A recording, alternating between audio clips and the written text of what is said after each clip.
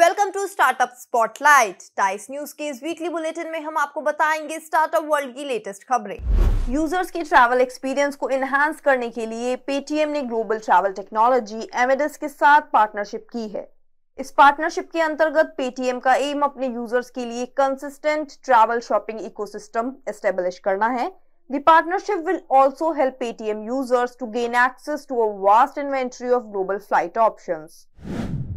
हाल ही में union minister Piyush Goyal अपने यूएस विज़िट के तीसरे दिन माइक्रॉन और यूट्यूब सीईओ संजय मेहरोत्रा और नील मोहन से मिले। अपनी इस विज़िट के दौरान पीयूष गोयल सिलिकॉन वैली में कई वीसी से भी मिले। उम्मीद है कि पीयूष गोयल की ये यूएस विज़िट भारतीय स्टार्टअप्स के लिए न्यू अपॉर्चुनिटीज़ लेकर आएगी। पीयूष गोयल ने अपनी यूएस विज़िट के दौरान यूएस के साथ एक न्यू अग्रीमेंट भी साइन किया है।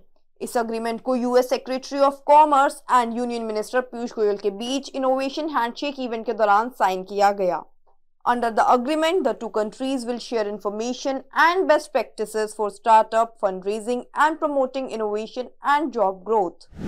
Ministry of mines ने हाल ही में माइनिंग मिनरल प्रोसेसिंग और रिसाइकलिंग सेक्टर में काम कर रहे स्टार्टअप्स और एमएसएमईज के लिए एक न्यू फंड अनाउंस किया है The proposals for this fund will be invited from startups, MSMEs and individual innovators which have a direct bearing on the mineral sector, applied and sustainable aspects of mining.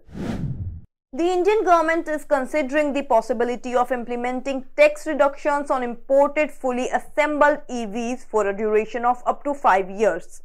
बता दें कि सरकार global car makers को कम tax rates पर EV e import में सक्षम बनाने के लिए न्यू ईवी पॉलिसी पर भी काम कर रही है With this, the Indian government is also working on expedite approvals for Tesla's potential entry into the country. ShareChat cofounders Farid Ahsan और भानु सिंह ने अपने न्यू टेक स्टार्टअप्स के लिए हाल ही में डॉलर तीन मिलियन की फंडिंग रेस की है बता दें कि दोनों को फाउंडर ने 2023 में जनवरी में शेयर चैट से एग्जिट किया था।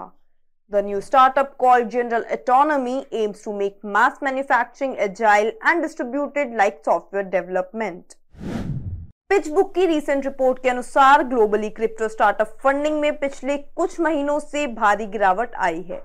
While overall crypto venture funding tumbled 63% to $2 billion in the third quarter compare to the same period last year many corporate VC businesses cut back even more rapidly.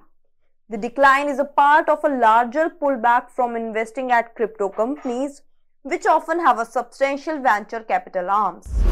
तो ये थी इस हफ्ते की latest startup news thank you for watching Times TV I would appreciate your efforts to like, subscribe and share this with your great network. For more engaging content, follow us on Google News, YouTube, LinkedIn, Twitter, Facebook and also on Instagram. Find all the links in the description. Let's stay in touch and stay tuned here.